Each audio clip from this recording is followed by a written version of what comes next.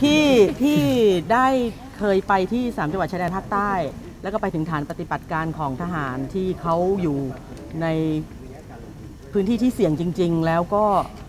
ได้เคยรู้จักกับทหารที่มีเพื่อนที่ตาย พอมาอ่านบทเรื่องนี้ครั้งแรกก็เลยท่อแตกอะค่ะ เมื่อกี้พอพูดมันก็ยัง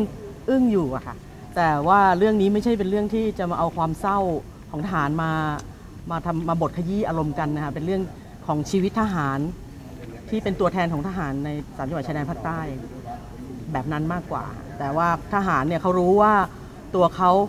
ตายได้นี่คือหน้าที่ของเขาค่ะตอนที่อ่านบทก็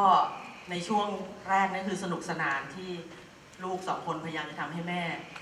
เอ่อเห็นว่าทางใต้นั้นไม่ ไม่มีอะไรอันตรายนะครับเป็นคนเป็นแม่เมื่อเห็นข่าวว่ามีทหารใต้ตายทุกวัน ไม่รู้วันไหนจะเป็นลูกตัวเอง มันต้องลงไปดูนะคะ แล้วเมื่อได้ลงไปดูแล้ว แล้วได้ผ่านเรื่องราวไปทั้งหมดแล้ว ถึงได้เห็นว่าทหารที่อยู่ที่นั่นเขามีที่มาต่างกัน ความตั้งใจมาเป็นทหารก็ต่างกัน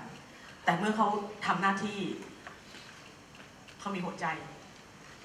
เดียวกันมาแล้วครับ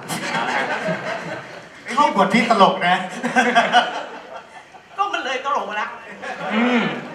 แล้วเขาก็ ออกไปจากค่ายนะฮะครับ เขาไม่รู้ว่าเขาจะได้กลับมาหรือเปล่า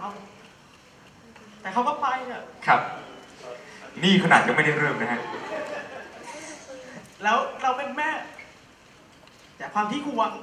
อย่าทำเลย ในที่สุดเราก็ภูมิใจที่ลูกเราทำเพื่อชาติครับ นี่คือสิ่งที่อยู่ในละครครับ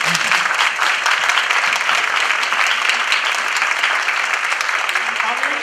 พวกเราก็พ ร้อมที่จะให้คนดูเข้ามาดูเพื่อ จะได้เห็นว่าทหารที่อยู่ที่นั่นเขาทำอะไรเพื่ออะไรกัน ต้องดูในละครนะคะ